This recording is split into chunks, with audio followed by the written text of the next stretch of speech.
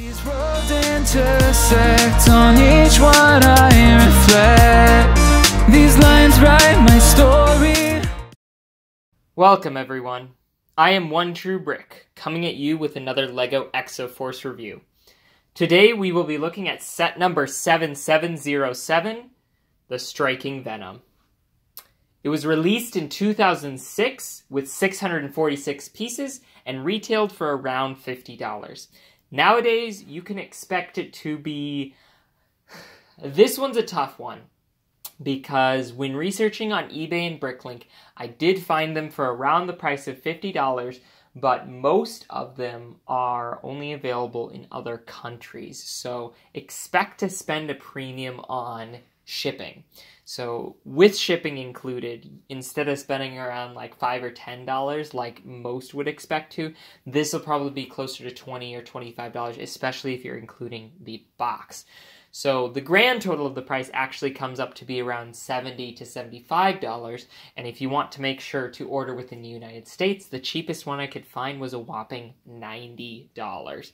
So this set almost doubles in price um, nowadays on secondhand retail, and that makes it tough to recommend, as well as for some other reasons. So, this is the largest walking robot battle machine. In the story, this this battle machine was the big bad that was kind of discussed in whispers throughout the course of the entire year until it finally made its appearance at the end.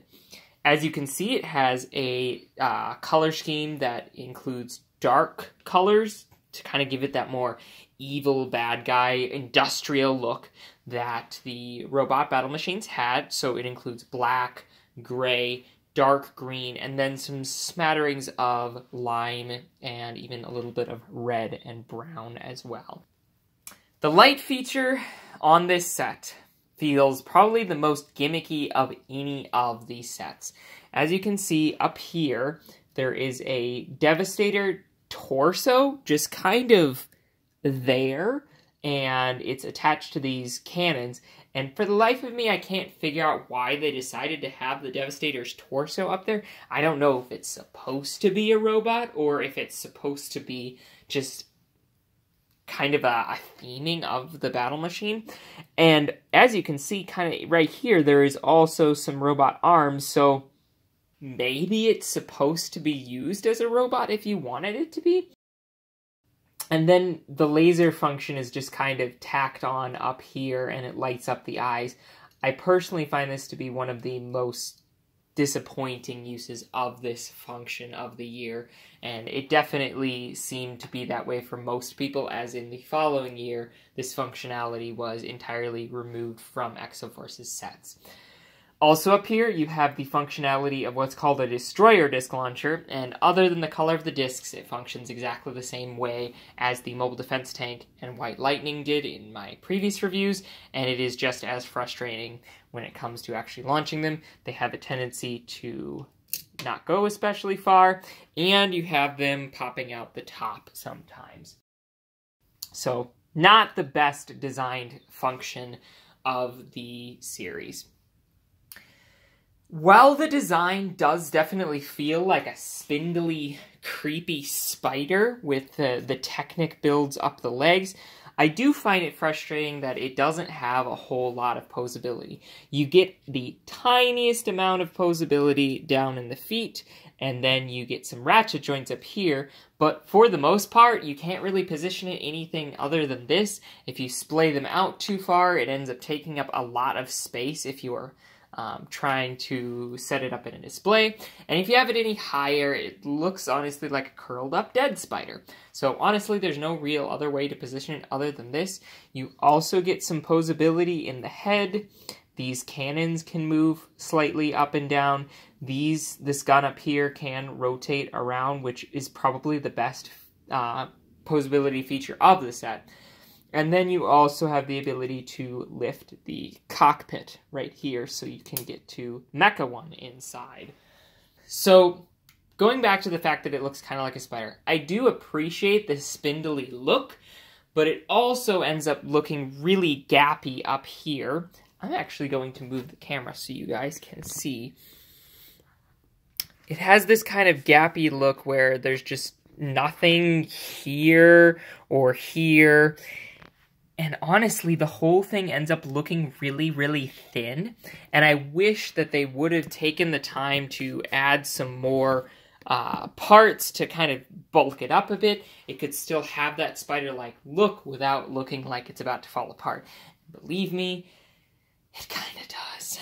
So, one of my greatest qualms with this set, and if you haven't figured out already, I'm not the hugest fan of it. Um, if you really want a big bad enemy for the um, human battle machines to fight, I suppose you can get it if you're willing to dish out the money.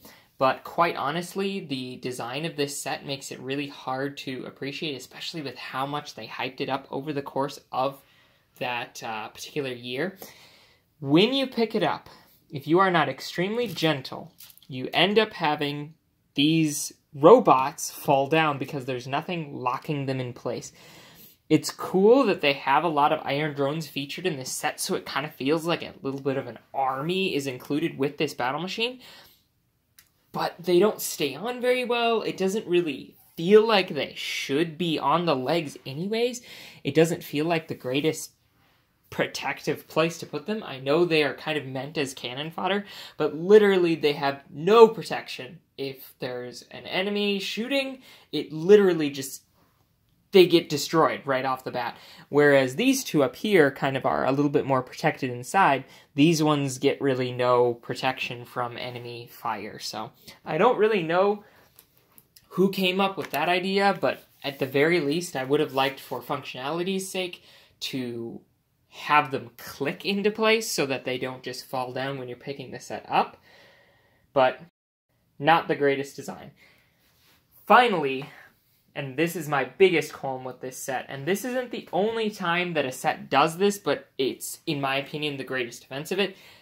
This is supposed to be Meca One's greatest kind of enemy battle machine to go up against the humans. So, when you buy this set, you expect to get Meca One.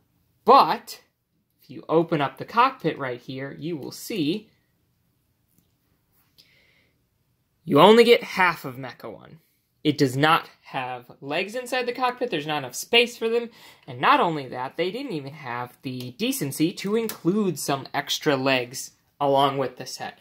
They had arms for the Devastator up here, if that's what it's supposed to be, but they didn't include legs for Meca 1, and I think this really kind of nails down what is wrong with this set. It's incomplete. So, highest negative recommendation possible. The only set that I would recommend less than this one for the first year would be Supernova, and that is only because its price tag is so high in comparison to this one. You will be spending about the same price getting either of these two sets, and at the very least, with this one, you get a nice parts pack. So, of course, one of the greatest appeals of the Exoforce line was its combo models and alternate models. I don't believe there are any combo models available for this set, but it does feature an alternate model, and I personally think this is one of the best ones that you can get. You can see it back here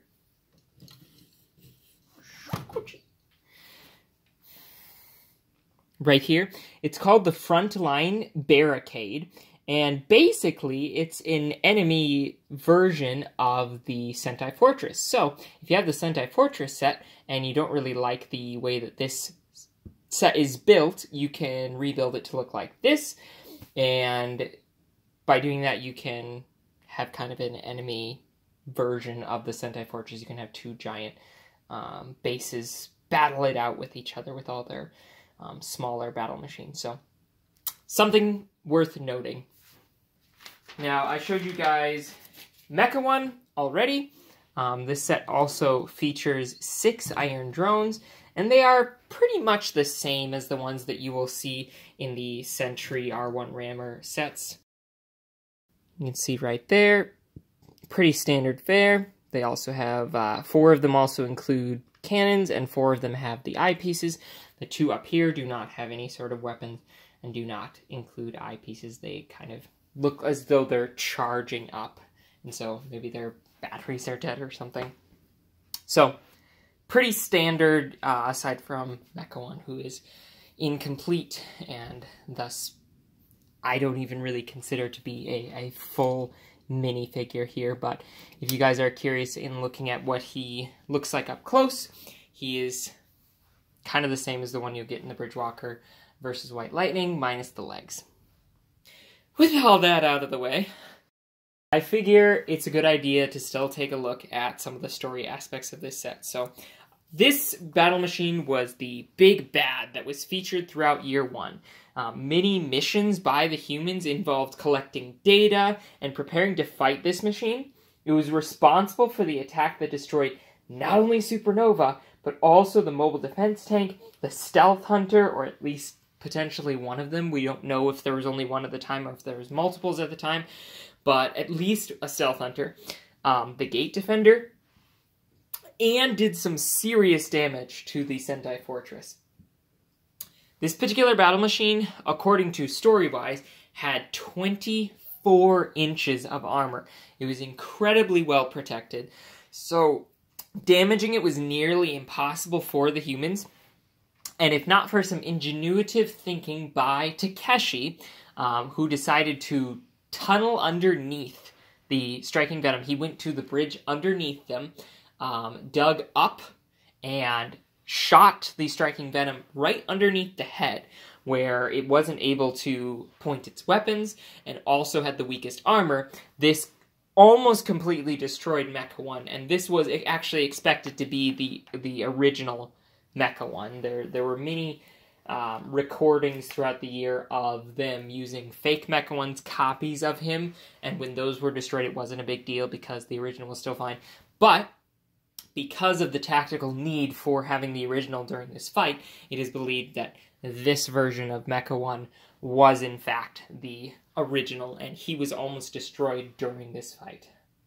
To me, it's kind of sad that this battle machine was never included again. At the end of the ba- battle, it wasn't completely destroyed, it was just heavily damaged in the head, and it crawled back to the robot side of the mountain with Exoforce's kind of sad, incomplete ending, I think it would have been really cool if, for the final battle with the robots in the deep jungle, for them to have brought this battle machine back um, and have it kind of be revamped to be more like arachnoid like, and maybe have like um, different color scheme, different um, features and just kind of a revamped version of it for the final battle. I think that would have been an amazing ending to the Exoforce storyline.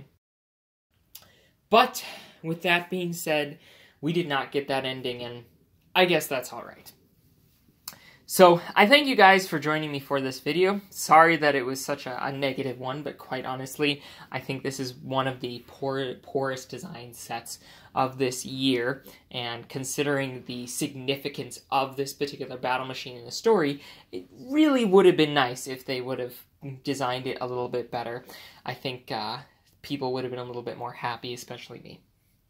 So, with that, thank you guys for watching. Um, I will see you guys next week, and I will be going over the biggest Exoforce set of all time, the Sentai Fortress. Thanks. Bye! Then there's a little crane back here where I have Rio Station. And then there's lots of space, as you can see, where you can put other figures. So all in all,